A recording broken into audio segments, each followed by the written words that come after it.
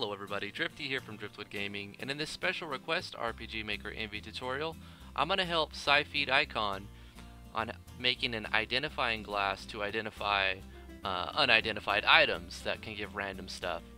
So let me show you, Sylpheed, how to do that. The first thing we're going to do is we're going to go to our Items tab, and we're going to create a couple new items. We're going to create an item called an unidentified item, we're going to give it whatever icon or description we want. We're going to make it a regular item, and the price is up to you. But make it not consumable, the occasion will be never, and the scope will be none. Because we need to get this, ident this item identified by an alternative means, through an event or using an item. So alternatively, you can add some text color to it if you want to, or you can make it so that it sells or it cannot be sold. Uh, once you're done with that item, we're going to make another item, the identifying glass as requested. So we're going to give that whatever icon or description you want. It'd be a good idea to let the player know that they're going to use this to identify one of their unidentified items. You can see we're using the text code here to go forward slash II and then putting a number here is going to call on this number. So when we look at this in game, it's going to say use this to identify use this item to identify one of your unidentified items. You can give it whatever price you want. We'll make this a key item. A matter of fact, we can make this unidentified item a key item as well, just so it doesn't clog up the inventory. We'll give this one consumable because we're going to use this one to make it call an a common event.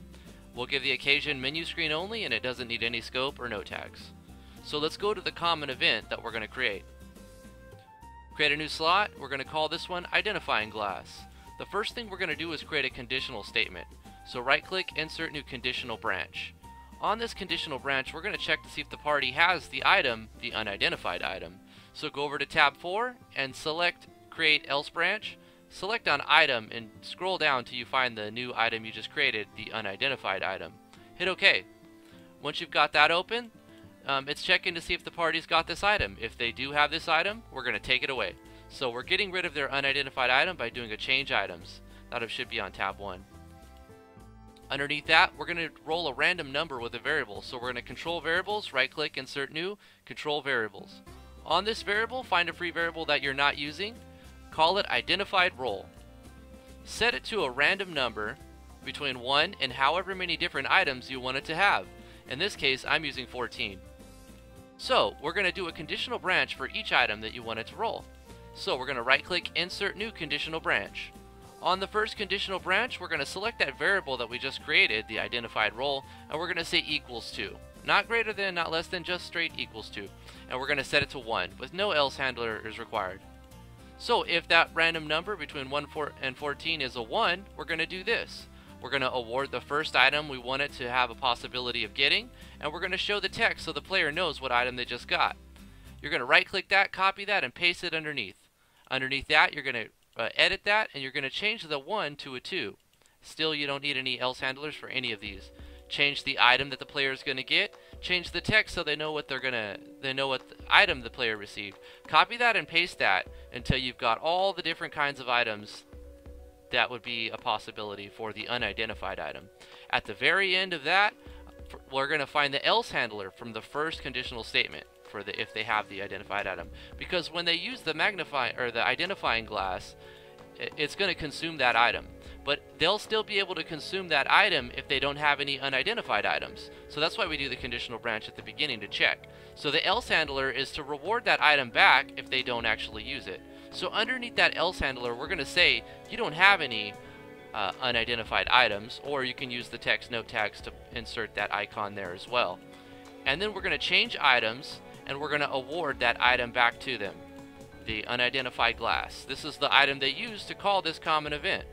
So let's go back, we'll hit apply, let's go back to our items and make sure that on the identifying glass, we're going to go over to effects, right click, edit that, go over to other, go down to common event, and select that common event we just created, the identifying glass. Hit OK. Hit, um, don't forget to save your game. Now let's test it out. In these treasure chests, I've awarded some gold, some tokens, some identifying glass, but I haven't awarded any unidentified items. In this other chest, we've awarded some unidentified items. So this is going to be a way to check uh, to see if it works without uh, having the items and works if it does have the items. As a bonus, you didn't ask for this, but I thought it would be a cool idea. You can create an event that will do this for you. It's just a little bit more work. So basically use the same things that you learned in that common event, but put it in an, in an event itself, and you can have the player, instead of consuming an item, they'll be able to pay for uh, identification from a diviner with uh, crafters tokens, which is another alternative currency. I'm going to put a link in the description below for that uh, plugin as well. It's not required, but it's a really cool plugin and you should check it out. Um, and you could also, uh, that's a Yanfly plugin, or you could also use gold. So well, if they have a thousand gold, they'll be able to do this. But let's take a look at the special request.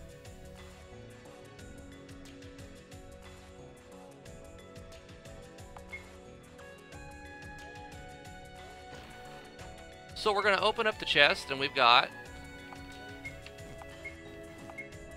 the identifying glass. But we and we will take note that we have five of them.